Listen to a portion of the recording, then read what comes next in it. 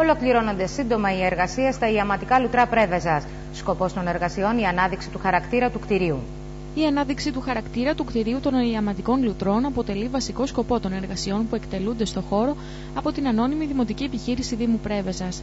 Οι παρεμβάσεις αυτή τη στιγμή βρίσκονται σε πλήρη εξέλιξη και περιλαμβάνουν αποκάλυψη της πέτρας σε αρκετά σημεία της οικοδομής, αντικατάσταση του αποχετευτικού δικτύου. Παράλληλα, γίνεται αναβάθμιση του χώρου υποδοχής και του ιατρίου.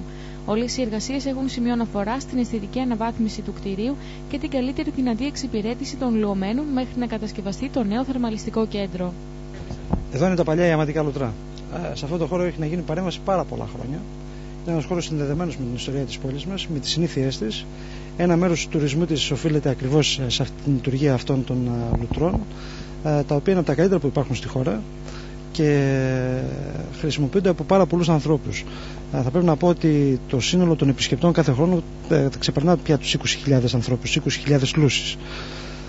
Αποφασίσαμε φέτος, ξεκινώντας ένα μεγάλο πρόγραμμα που θα ολοκληρωθεί με την ανέγερση του νέου, των νέων ιαματικών λουτρών, του νέου θερμαλιστικού κέντρου, που θα γίνει ακριβώς ε, πίσω από αυτό το χώρο να αναβαθμίσουμε μέχρι τότε να αναβαθμίσουμε τις υπάρχουσες εγκαταστάσεις αναδεικνύοντας τα ιστορικά του στοιχεία αφού αυτό είναι χτισμένο από τον Αλίπασα να αναβαθμίσουμε